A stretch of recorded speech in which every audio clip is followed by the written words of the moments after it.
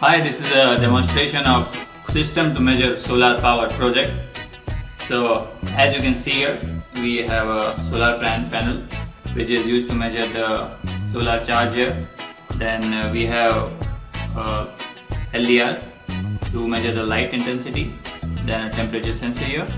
Uh, and all these are now interfaced to a 8051 family microcontroller which is in turn interfaced to an 16 into 2 LCD screen that is used to uh, demonstrate four parameters. That is, first is the light intensity. Light in intensity is measured in lux. Second is the temperature coming from the sensor in degrees Celsius. Then we have uh, current measured in amperes. And last is the voltage. So all these four parameters are measured continuously in the system and these two here are used to demonstrate as loads. So this is used to measure the voltage coming from the panel. And this one here is used to measure the current. So now let's see how the system works. You know first of all uh, let's bring uh, some uh, light or focus uh, around the solar panel. And let's see the changes in current and voltage here so as you can see, since we are bringing the light closer to it, uh, with the change in uh, intensity, the current is changing here.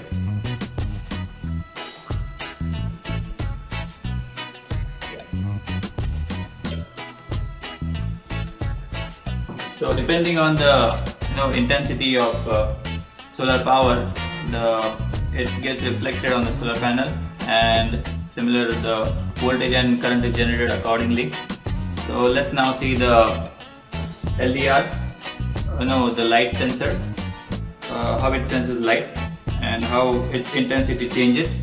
First of all, let's, you know, since it's 45 now, 54 now, let's put a hand over it and let's block the light. So it goes down to 16, 14 as you can see. Now let's do one thing, now let's uh, increase the light there. Let's put on some more light on it. So as you can see it increases. Similarly, the temperature sensor, uh, it varies uh, according to the temperature. So, you know, our system is very helpful in monitoring uh, live uh, solar, you know, uh, live solar uh, charge details depending on the conditions outside. So, this is how we can monitor the entire solar charge with various parameters in a single system and for this purpose we use a 8051 family microcontroller and an LCD screen.